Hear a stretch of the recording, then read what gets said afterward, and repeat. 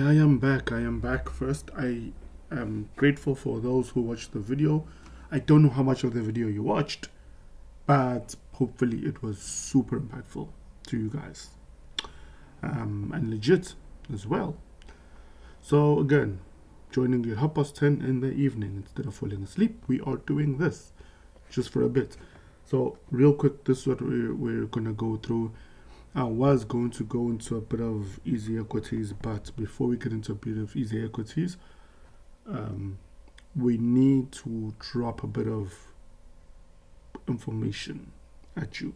This is legit, right? This is not one of those posts on, on YouTube where we're selling you some weird business and we're not telling what the business is and we're not it's just like come to the presentation and no this is real so here it is. This is I've got the screenshot. This is why you don't really see my face.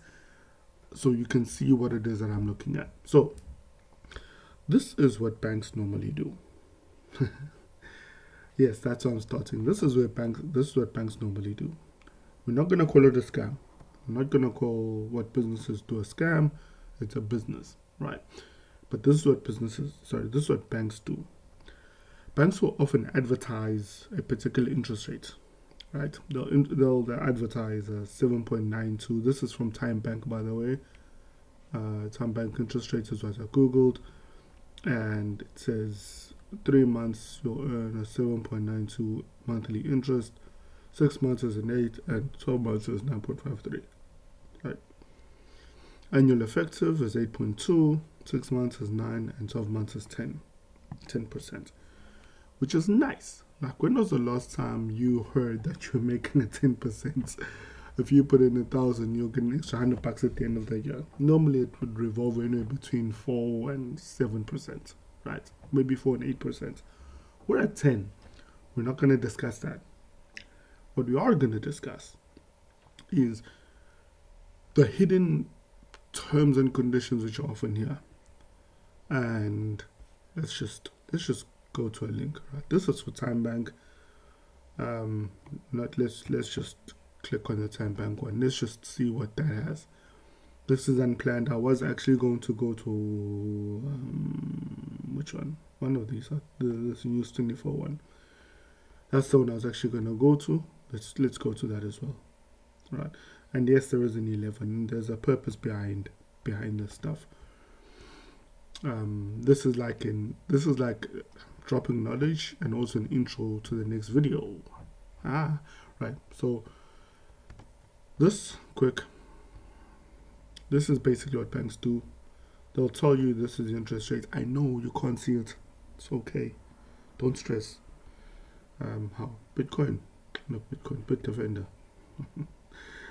um, anyway, so often they'll be like, this is the interest rate you can get but you have to have a minimum amount of money that's put in. So they'll be like, you can get 12% effective interest on maturity. And you're like, whoa. And then you come with the five, like 5,000. They're like, no, you need to have like 200,000 in order to qualify for that. And you're like, but, but I only have 5,000. And they're like, oh, well, we can only offer you like 8%. And you're like, how? But, but, but, right. So often what they'll do is they will advertise the highest interest rate that they can give under certain conditions, but they're not necessarily going to tell you those conditions because it's a marketing pitch, not a gimmick. It's a marketing pitch.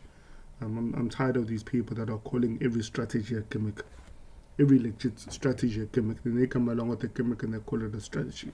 Right, so, excuse me. So, banks will come up with this. Oh, no battery.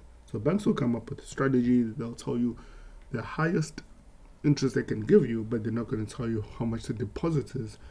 That's because they know that if they told you how much the deposit is, you go hang egg. So they bring you into the bank, you come in, and then you find out painfully you don't qualify for the highest amount, but they then kind of give you a consolation prize. If you put it in, this is what you'll get. And then you kind of go, eh, okay, fine. So that's what banks generally do. If This thing can be seen. I don't know if I can see it. Here it is. So a fixed amount for a fixed term, earning 10% fixed interest. That is so cool. A TymeBank, fixed bank account for planners, future thinkers, etc. etc. Let's make your something something official. I hope they're not gonna force me to sign on. Please don't. Please don't make me sign on. They're gonna make me sign on.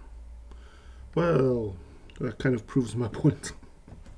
I have to come in and I have to put the amount of money and then they're gonna tell me what it is. Or I can just go to if it's another bank I can go to the branch.